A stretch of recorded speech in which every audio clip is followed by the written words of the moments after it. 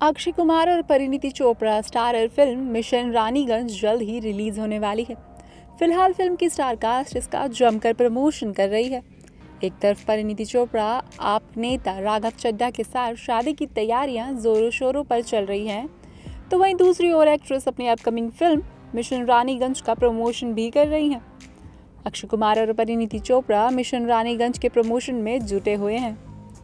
Real life घटना पर based mission Raniganj में परिणीति चोपड़ा और अक्षय कुमार ने लीड रोल प्ले किया है। तीनों सुरेश देसाई के डायरेक्शन में बनी ये फ़िल्म 6 अक्टूबर को सिनेमाघरों में रिलीज़ होगी। अक्षय कुमार और परिणीति चोपड़ा फ़िल्म के प्रमोशन के लिए पूजा एंटरटेनमेंट के ऑफ़िस पहुँचे थे। इस दौरान दोनों स्टार्स काफ़ी स्टाइलिश लुक में नज़र आए। अक्षय और परिणीति ने एक साथ कैमरे के लिए जमकर पोज भी दिए।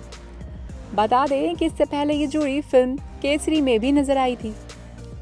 लुक की बात करें तो जल्द ही आप नेता राघव की दुल्हनिया बनने वाली परिणति ने खुद को ब्लैक काफ्तान में स्टाइल किया था।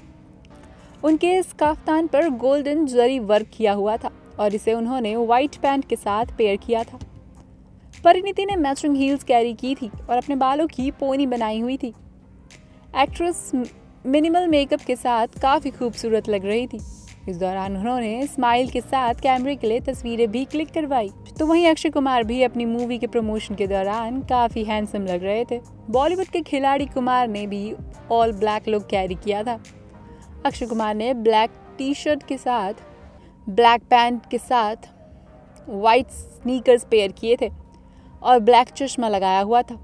इस लुक में एक्टर काफ़ी हैंडसम लग रहे थे। बता दें कि मिशन रानीगंज जसवंत गिल की रियल लाइफ स्टोरी पर बेस्ड है। हाल ही में इसका टीजर रिलीज़ किया गया था, जिसे लोगों ने काफ़ी शानदार रिस्पॉन्स दिया था।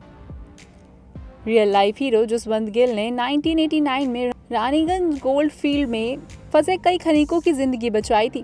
फ़िल्म में अक्षय ने जसवंत सिंह की भूमिका निभाई है।